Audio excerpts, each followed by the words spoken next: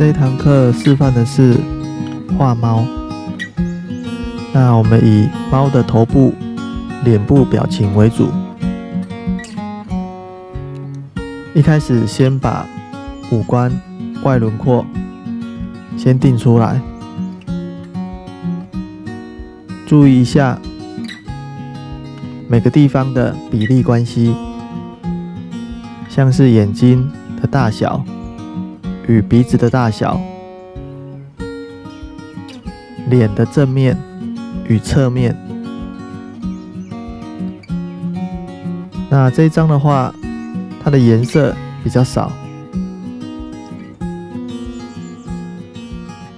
主要以灰色与咖啡色系为主色调，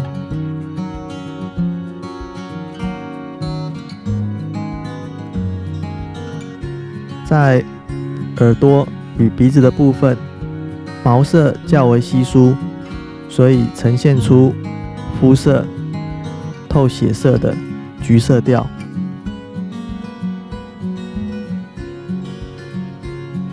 在背景的部分，可以选择自己喜爱的颜色，衬托出物体，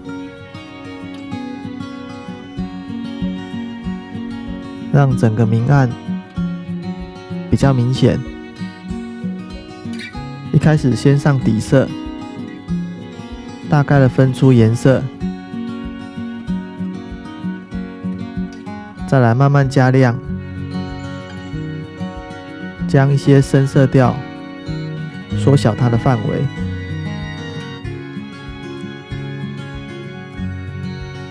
每个地方越画越小块，越来越细。那画的方式比较偏向于整体的画法，每个区域的进度包含背景。在画的过程中，它的进度都差不多。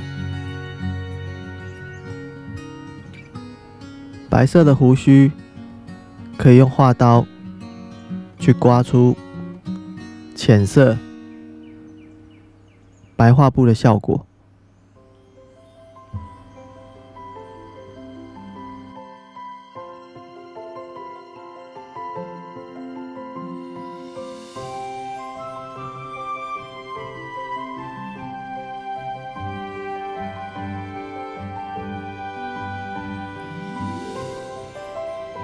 在后面修饰的阶段，一直在做微调，一点点斜度的变化，长度、深度、亮度，仔细的去观察，找出它的不同的地方，做调整，在画面的处理。大多照着照片在进行，只有在背景的部分增加了一些笔触块面的效果，也改变了色彩，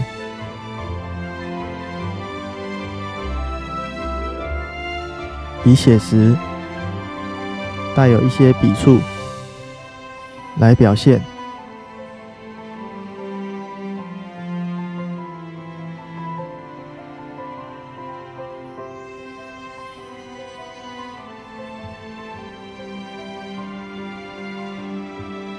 经由不断的修饰、调整，让形体越来越接近我们所看到的样子。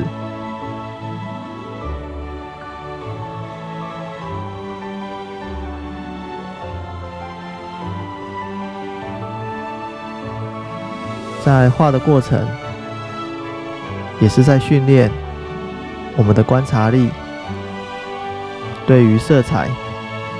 明暗的敏锐度。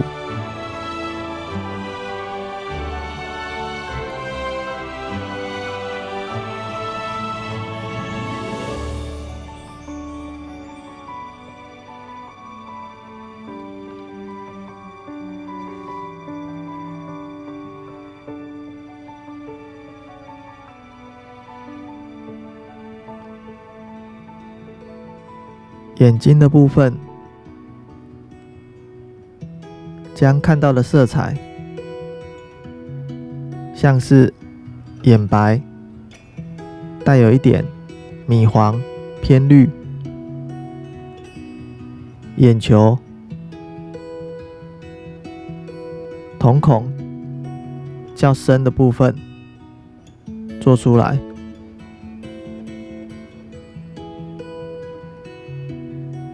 最后再点上眼睛的亮点，就可以表现出眼睛光滑的样子。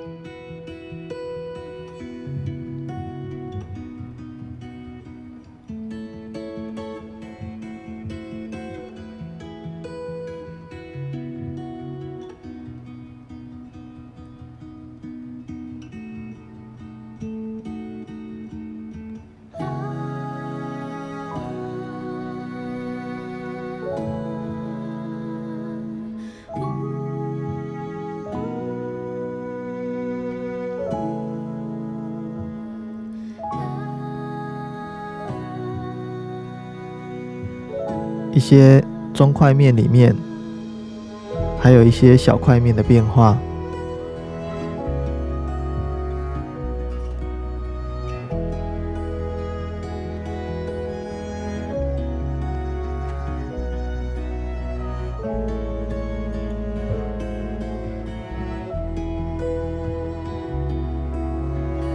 慢慢加强对比，越来越亮。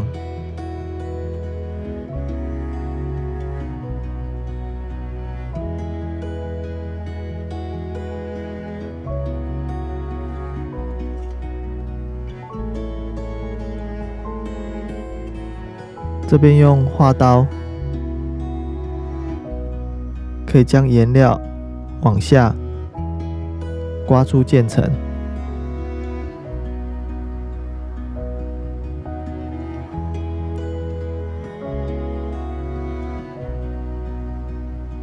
每个地方要画到多细致，主要在于画者。想要画到什么程度，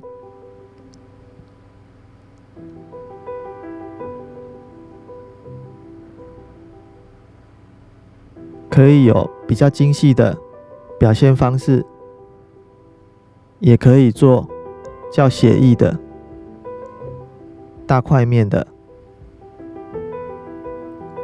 或者是其他的绘画表现手法。那写实的、精细的，在看每个地方，通常我们会有一些想法，还可以做到多细？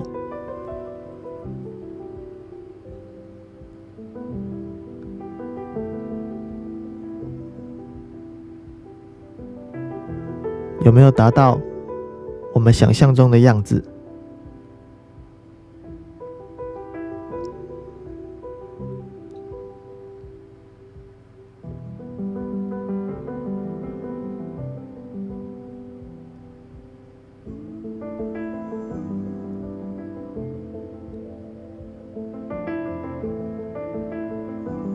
在画的过程，也可以带有一些实验性的技法，或是画面的处理，增加一些画面上的绘画效果，让照片与作品呈现出不同的视觉感。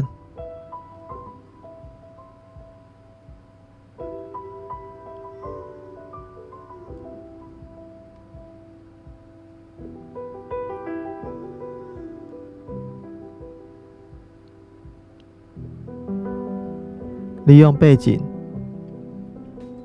再缩小外轮廓的范围与斜度。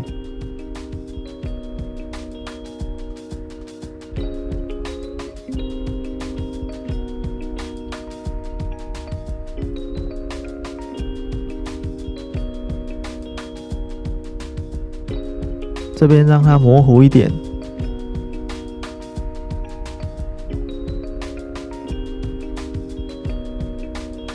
对比较小。最后每个区域再去看一下，还可以再做什么细节，增加一些层次，让画面更完整。